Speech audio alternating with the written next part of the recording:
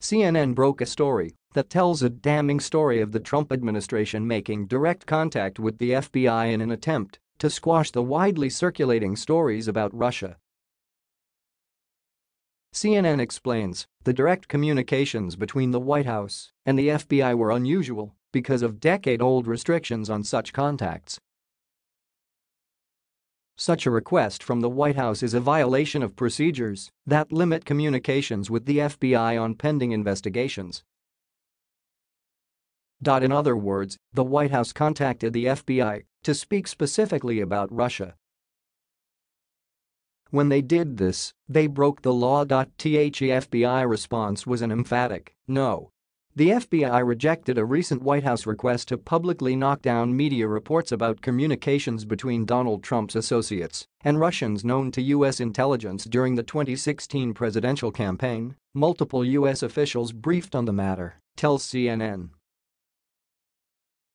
Now we get on to the part of every Trump administration story that lets you know who lied and what they lied about.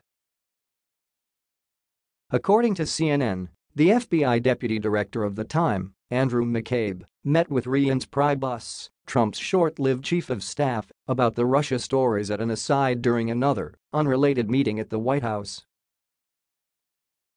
The White House said this scenario was a lie and posited that McCabe called Priebus that morning.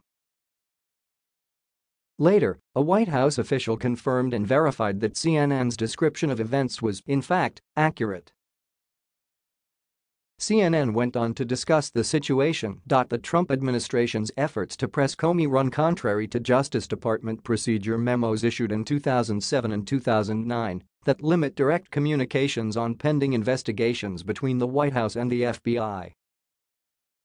Initial communications between the Justice Department and the White House concerning pending or contemplated criminal investigations or cases will involve only the Attorney General or the Deputy Attorney General from the side of the department and the counsel to the president, the principal deputy counsel to the president, the president, or the vice president from the side of the White House, reads the 2009 memo. The memos say the communication should only happen when it is important for the president's duties and where appropriate from a law enforcement perspective.